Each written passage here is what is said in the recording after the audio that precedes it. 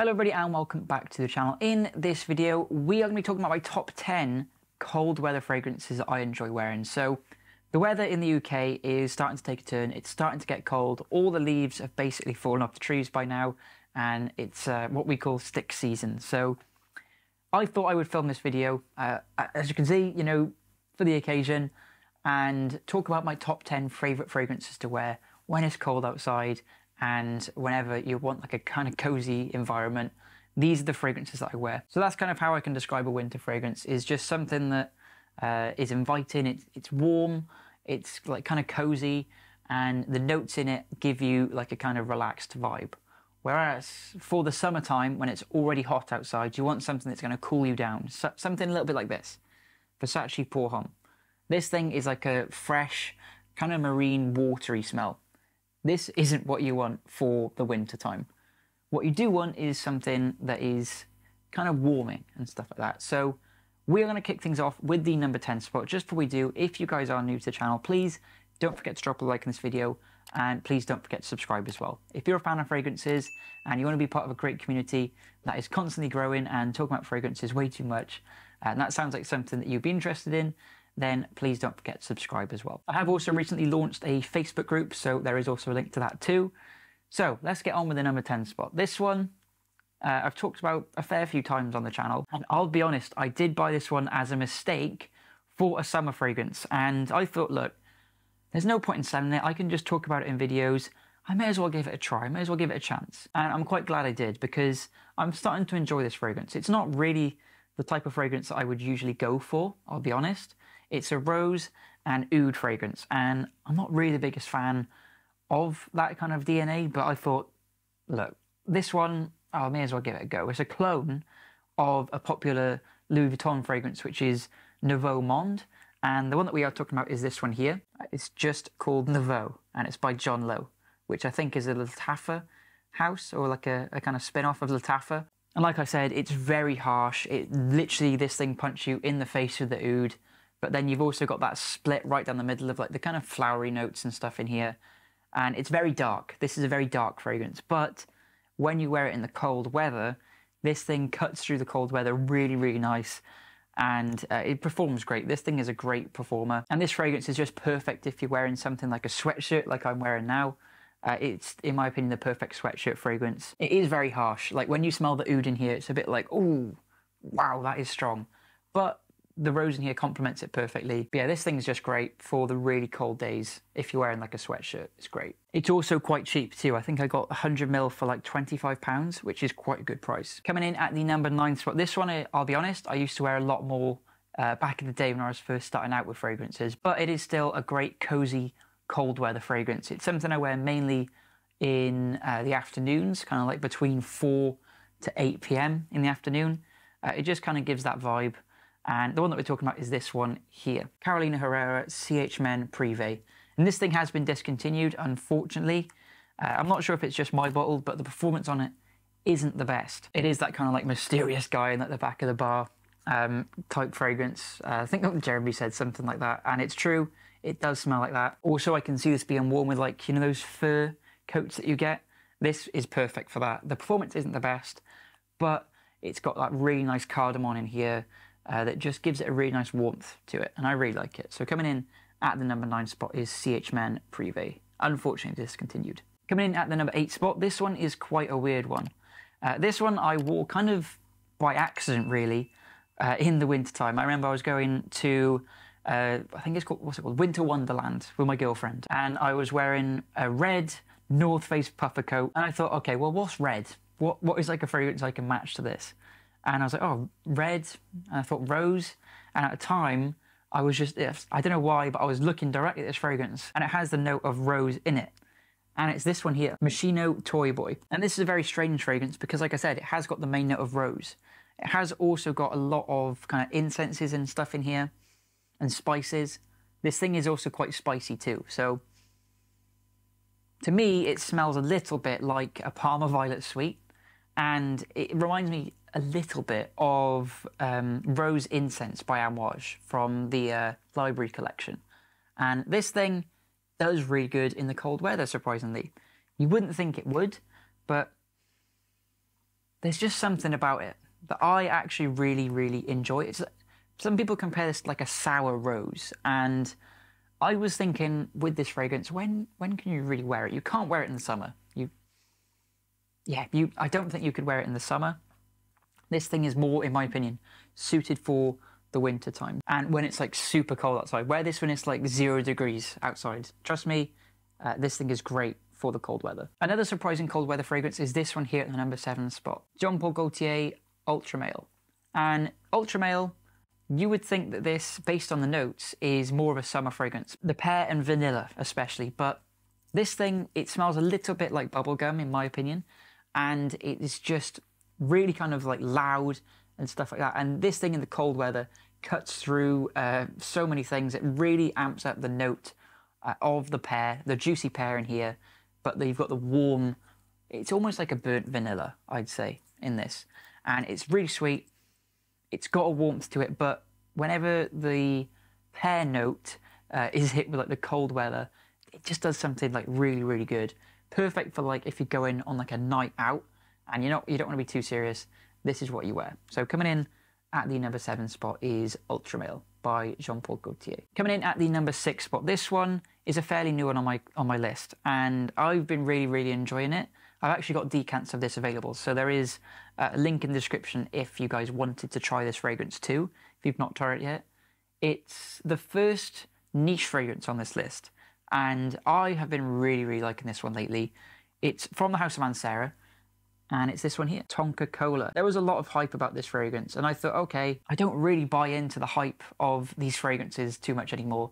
I kind of go my own way, but I thought, look, I may as well decant this one if it's hyped, uh, and I thought I'd buy a bottle, and I'm quite glad I did because, like what the name suggests, it does smell very cola It smells a little bit to me like a cherry Coke, but after like the kind of hour mark, when that sort of cherry note is gone and the cola note is sort of dried down a little bit, you get the tonka in here and it gives it a really, really nice, warm sweetness. And it's just really good and it's quite unique too. So, not many people are going to recognize what you're wearing. Uh, sometimes they will give you the reaction like you smell like Coca Cola, uh, which is understandable because the first hour of this fragrance does smell almost identical to Cherry Coke. But after that, it does turn into a really warm fragrance uh, and a really cozy fragrance too. So coming in at the number six spot is Mancera Tonka Cola. Coming in at the number five spot, this one is Joint. I could not decide which one from the house I wanted to put on this list. So I thought I'd include two. I mean, there's a lot more of this fragrance house that can be worn for the winter time. These two I just seem to be picking up a lot lately for the really cold weather. And they're both quite warm they're both uh, they both actually have the note of cumin in it, surprisingly, and they're both from the House of Amouage. They're very daring. First one is this one here, probably one of the coolest bottle designs that I own. It's Fate Man, which has now been discontinued, by the way. So Fate Man smells like curry. Sometimes people say I don't get that. It just smells warm, brown, spicy. And then the other one you've got is this one, which is Overture Man. Like I said, also has the note of cumin in it but it's also got a really fleshy grapefruit and cognac smell. So they're both very daring, but I absolutely love both of them. Really cool bottle designs for both. This one is just so easygoing for the colder months. I've had great reactions with this thing. It's just so calm. It's like, uh, if you look at the artwork for this thing, uh, it's like based on like celestial stuff, like the moon and the sun and stars and it just reminds me of like an easygoing kind of fragrance. This is something like I think if you were to go up to like a wizard's tower or something like that in like a, a fantasy novel or film, and you were to go into like that little kind of um, if you were to if you were to go up there through like a little hatch, and it's just like a brown carpets and stuff like that, bookcases everywhere, uh, and there's like incense and stuff getting burnt. That is kind of what I can imagine this thing smells like. And he's got telescopes and he's got like, you know, moon phasing stuff dangling down from the ceiling. Uh, that's what I'd imagine this thing's like. It's really good. I'm so sad it's been discontinued. Uh, and it's some Amouage, and this thing performs amazingly for me. Same with Overture. Probably one of the longest lasting in this list, actually. Overture is just like that fleshy grapefruit smell. Um, it's got the note of cumin in it as well, and animalic notes. It's quite, uh, it is quite daring, this thing. I will wear this on bonfire night every single year, and I wore it recently, and it's just a perfect occasion for that. It's got a, a slightly smokiness to it as well. It's quite mature, but I really, really enjoy this thing. So coming in, joint at the number five spot is Overture Man and Fate Man. Both great winter fragrances from the House of Amouage. Coming in at the number four spot, this one I have put here because it is insane projection. I'm I'm literally holding this like an arm's length away, and I can still smell it. It's crazy how strong this fragrance is. I'm actually scared to spray it on clothes because it does not come off. it stays on the clothes forever. The one that we are talking about is from the house of Montale. It's my only one that I've got from Montale. Maybe I'll buy more, who knows. At the minute, I'm quite happy with just owning the one. The one that we're talking about is this one here, Arabian's Tonka. So this is a very gourmand, sweet fragrance. It's got, like, I think the main note of sugar in here, like a sugar cube smell, and it's also got the note of oud in here. So it's quite dark, but very, very sweet. If you aren't a fan of sweet fragrances, don't buy this because it is one of the sweetest, fo sweet focused notes of any fragrance that I know. But it's got a really nice warmth in here. There's something about the uh, sugary sweetness and the oud, the kind of dark, woody oud in here that just kind of works quite well. And this thing, in terms of compliments, is off the charts. Um, if I want to go out and wear something for compliments in the wintertime, I'm going to wear this. My girlfriend likes this, which is strange. She usually likes the uh, the kind of fresher fragrances, stuff like, you know, Chanel's and Versace Pour Homme stuff that we talked about earlier. She likes the fresh ones, but surprisingly, she really likes this one. And maybe it's from the sweetness, but if you want great compliment factor, then give this one a go. Coming in at the number four spot is Montale Arabian's Tonka. So strong as well. Okay, and kicking the list off in the number three spot. This one is a little bit similar to Arabian's Tonka with the fact that it's super sweet. So if you aren't a fan of sweet fragrances, probably stay away from this one. But I feel like this one's slightly better. The performance is actually very, very similar, thinking about it, to Arabians Tonka. I just prefer the DNA of this one. It's a little bit kind of uh, more well-rounded. It's not as harsh from the oud in here. And it's this one here, from the house of Lattafa, and it's Khamrah Qahwa. So this is the flanker version. This one uh, has got the note of coffee compared to the original Kawa. And oh man, this thing is. Oh, I love this thing, man. You can see how much of a dent I've put in this. And I've also decanted it. Decants available in the description. This thing is so good. Um, it's like a 50% take on Angel Share by Kilian. Uh, but this thing is done in its own way, in my opinion, I think. And it is so, so good. I can't really describe it to anything. It smells a little bit like um, a praline cake or like a kind of caramel cake, like a coffee caramel cake, a little bit. But oh man, it's sticky, it's sweet, and you've got the coffee note in here too. And it's got the coffee note in here. I can't really describe it. You just have to try this thing if you don't have it in your collection. It's probably uh, the second cheapest on this list. Um, the cheapest being Nouveau, this being the second, it's £30 and it's just so good for the winter time. Uh, it's so warm, it's so sweet, it's so inviting. And actually thinking about it, my girlfriend really likes this one too. So that's how you know it's a, a good fragrance. So coming in at the number three spot is Khamrah Qahwa. Also, big shout out to the uh, bottle design. I really like the kind of whiskey tumbler design that they've gone for this thing. And funny enough, with the cap, you don't lift it off like that. You're actually supposed to screw it like that. Yeah, cool bottle design, I'll be honest. Even for a clone house, it surprised me. Okay, coming in at the number two spot. This one just missed out on the number one spot. And the reason why is just because I thought, look, these ones are both kind of cozy and very kind of warm and inviting.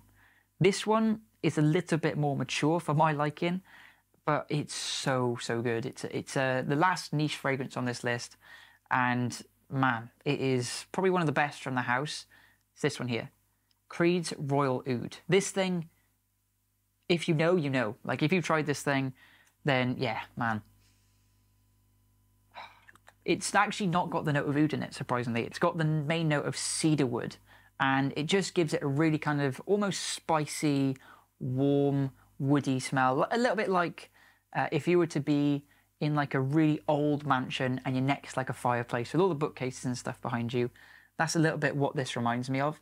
It smells a little bit Christmassy, something like, you know, what your granddad would wear on Christmas. Uh, it's a little bit kind of mature, a little bit old school, but it is from Creed, so it's got really good fragrance notes in here. The performance for Creed, this thing is actually probably one of the better ones, I'll be honest. Uh, and I really enjoy wearing this thing, especially with something like what I'm wearing today. Greys, greens, this thing works perfectly. And wow, I've just seen like actual like uh, oily stuff coming up from the bottle. So yeah, natural materials in here. And as well, if you really dig deep into this thing, there is a tiny little bit of like uh, freshness in here too. I think it's pink pepper and lemon that are in the top notes of this thing that kind of give it a little bit of like a citrusy freshness, but it's like the perfect amount. It's like something you would get from like I don't know like a like a warm tea or something. Uh, whilst you're by the fireplace in your old in your old old fashioned library next to your fireplace. This is very old money fragrance. It's very sophisticated. So coming in at two spot is Creed's Royal Oud. And guys, just before we get on with the number one spot, remember if you are new to the channel, please don't forget to drop a like in this video. Please don't forget to go down and subscribe as well if you're enjoying the video so far. Also, there is a link in the description if you guys wanted to go and try any of these fragrances. I've got 2ml, 5ml and 10ml available, so if that sounds like something you'd be interested in, if based on the notes you want to try these fragrances for the winter time, and instead of investing the full money for a bottle, then I will leave links in the description. And coming in at the number one spot, guys, this one was my favourite fragrance for quite a long time actually. Whenever I smelled it and I was getting into the fragrance game, I probably had about 10 to 20 fragrances by this point. point, and this one I uh, this was probably my biggest purchase back in the day, and I saved up for a while for this fragrance, and I'm so glad I did because it is so so good. It was the first decant of a fragrance I bought. Actually, I bought a 10 mil, and I sprayed it all on me for that winter time, and then I had to wait the entire rest of the year to get this as a full bottle for the next winter, and I'm so glad I did because it's so good. It's perfect for the winter time. It's this one here. By the Fireplace by Maison Margiela. This is like a, a better version of Stronger With You by Armani, if you guys have ever tried that. This thing is just, in my opinion, the better version of it. It is honestly just like you've been to uh, uh, by, a, by a fireplace and you've got the smell of uh, like the smokiness. If you've ever been and like made a fire with your friends and stuff like that and you come home and then you smell your, your clothes, that is a little bit what you get with this but you've also got a really nice vanilla note in here. You've got a really nice chestnut note in here too, so it's got a really nice sweetness, whilst also being quite smoky. I might wear this in my scent of the day actually today. It's so calming, it's so, so cozy and inviting. When people smell this around you, they want to come closer to you because you just smell amazing with this thing. Perfect for the winter time, in my opinion. Also, probably one of my favourite from the replica line. You can see at the bottom there that it's male and female fragrance. So it is unisex. And funny enough, my best friend's girlfriend, uh, she smelled this one and she decided to pick up a bottle for herself because she liked it so much. So uh, it does great for reactions. So coming in at the number one spot, my favorite fragrance to wear for the wintertime is this one here, Maison Margiela by the fireplace. So that is going to do it for this video, guys. Let me know down in the comments below what your favorite fragrances are to wear in the colder months. Be really interesting to see uh, what you guys come up with. I'm really excited to, to actually go out and wear all these fragrances now. Uh, I'm trying to kind of stay away from the fresher fragrances because I know that uh, I'm not going to be able to wear these winter fragrances in the summer. So try and get your most out of your winter fragrances in the colder weathers. Typically, they're a lot stronger too, which is always interesting, and they do seem to get great reactions, all of the 10 on this list. Remember, guys, don't forget to drop a like on this video if you've made it up to this point. It really, really does help out on the channel. And don't forget to subscribe as well. Like I said, we're growing a great community. We've recently launched a Facebook group, so uh, feel free to join that too. I did mention earlier about decants. I have got the two 5ml and 10ml available which are again all in the description below. If you guys want to learn how to decant fragrances for yourself and actually make money back on your fragrances and, and allow your fragrances to actually make you money, uh, then I have got a link down the description below. It's a mini course which goes step by step by step in detail everything that you need to know for decanting your fragrances, growing a massive collection and snowballing it so that you can get loads and loads of fragrances just like how I've done. When I was pricing it, I thought, look, I'm not going to be like, you know, one of those gurus and stuff like that and price it for hundreds and hundreds of pounds. I was like, there's no way I'm going to charge people like crazy amounts for this. It's just something I thought, look, it's something I can give back to people for. And it only costs £10. So it's the same cost as if you were to decant this fragrance and sell a 5ml decant, you've already paid for the course. So if everything that you learn on that course and you actually implement it, you can make your money back literally on one decant, essentially. So there's a link below if you guys want to learn how to decant in fragrances too. So with that said, that's enough shameless plugs, as always. Thank you so much for watching, and I'll see you all in the next video. Goodbye.